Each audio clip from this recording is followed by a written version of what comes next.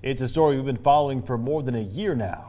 The FBI partnered with local law enforcement in Spokane and other areas to conduct this operation because sex traffickers move from city to city. KREM 2's Lindsay Nadrich looked into the arrests and has more on Operation Cross Country.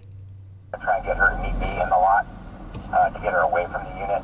Operation Cross Country is a national initiative that targets juvenile human trafficking victims. Traffickers move from city to city, which is why it's so important for law enforcement agencies to work together to crack down on the problem. And unfortunately, it's a problem that exists here in Spokane as well. We see it everywhere. It's pervasive and persistent, and it's, it's national and it's even international. We're talking about those most vulnerable in our society kids, children being exploited. Last year, I covered the arrest of a man named Christopher Morgan for promoting prostitution. The detective who investigated Morgan participated in Operation Cross Country. More than a dozen other people suspected of trafficking were also arrested in Washington last year as a result of the operation. Fast forward to today, investigators continue to make arrests and rescue victims of human trafficking. This month, law enforcement conducted their 11th sting as part of Operation Cross Country and arrested three more people on the west side of our state for sexually exploiting children and adults. The sting operation was conducted in several counties, including Spokane. As part of the sting, 32 women who were being exploited through prostitution were also found.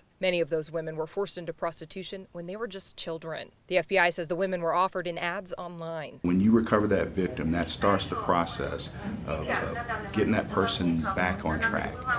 And so for me and for the men and women who work this violation, again, very gratifying uh, because we're having an immediate impact. But what I understand and what the men and women who work this violation understand is that there are many more victims that we need to reach. Operation Cross Country is part of the FBI's Innocence Lost National Initiative, which began in 2003. Since then, the FBI says more than 6,500 children have been rescued from child sex trafficking, and more than 2,500 people have been convicted for trafficking related crimes. Lindsay Nadrich, KREM 2 News.